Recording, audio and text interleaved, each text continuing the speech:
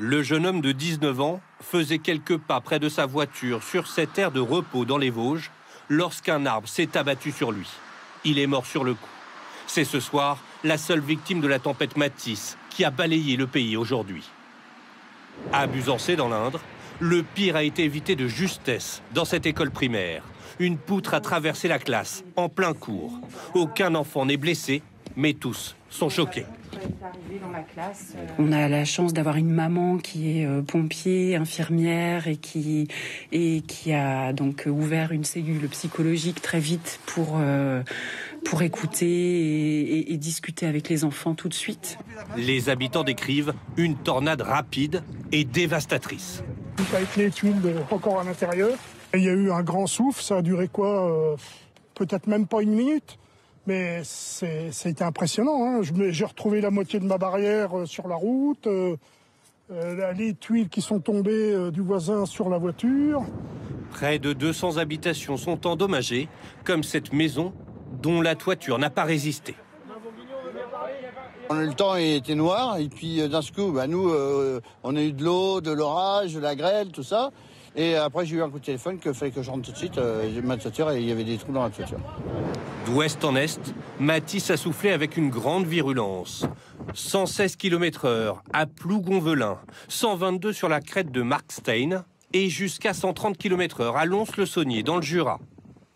À Barfleur, dans la Manche, les habitants sont certes habitués à ces coups de vent, mais celui du jour n'a rien de rassurant. C'est chaud. on s'envole un peu, on voit les poubelles un peu partout. Euh. Une tempête qui a également provoqué de nombreuses coupures de courant.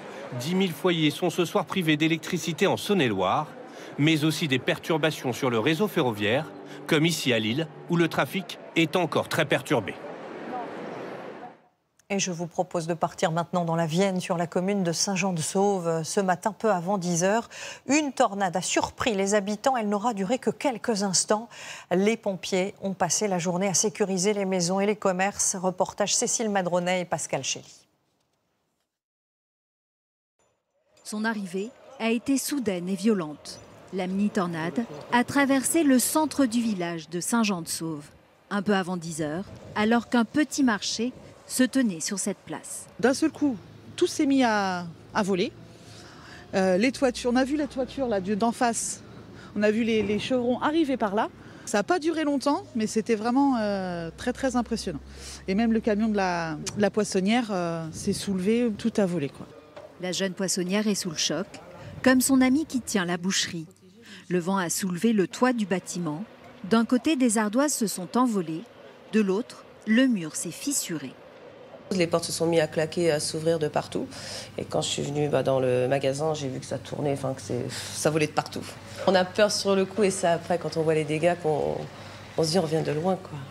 Un phénomène court, très localisé, qui n'a fait aucun blessé. Priorité pour les pompiers, sécuriser les bâtiments. Les éléments de toiture, ils sont pas stables, ils ont été retournés.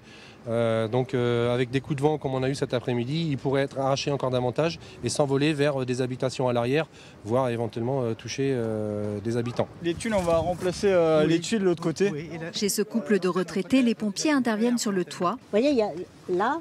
Mais ces fenêtres sont également brisées. C'est le vent qui a fait ça C'est le vent. Ah oui, oui, oui, c'est le vent. On réalise les dégâts. Alors après, ben, on est désemparé parce qu'on ne sait pas qu'est-ce qu'on va faire, qu'est-ce qu'on va faire. Euh. On dit que ça, arrive qu'ailleurs, non? Vous voyez, ça arrive aussi chez nous. Et ça va recommencer, il ne faut pas se faire d'illusions. Toute la journée, les pompiers ont redoublé d'efforts pour effacer les traces de ce coup de vent. Phénomène traumatisant pour les habitants de la commune.